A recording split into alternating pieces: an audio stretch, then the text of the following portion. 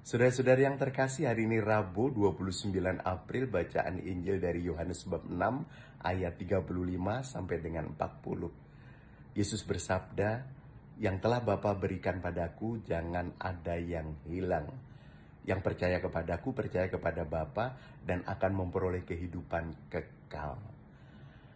Kehilangan yang dimaksud Yesus bukan kehilangan barang, kehilangan harta benda, kehilangan jabatan, kehilangan pekerjaan, kehilangan keuntungan dan kekayaan, tapi kehilangan relasi kita dengan Tuhan, iman kepercayaan kepada Tuhan. Mungkin di masa sulit kita merasa, Tuhan, Engkau ke mana aja? Engkau tidak berpihak padaku. Engkau tidak membela dan membantu aku.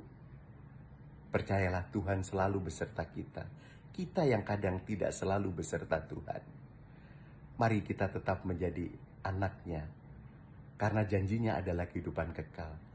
Dan jangan sampai kita menjadi salah satu dari anaknya yang hilang.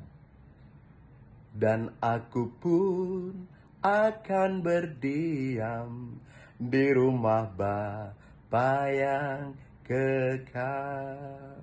Seruput empon-empon dulu. Salam sehat Tuhan memberkati.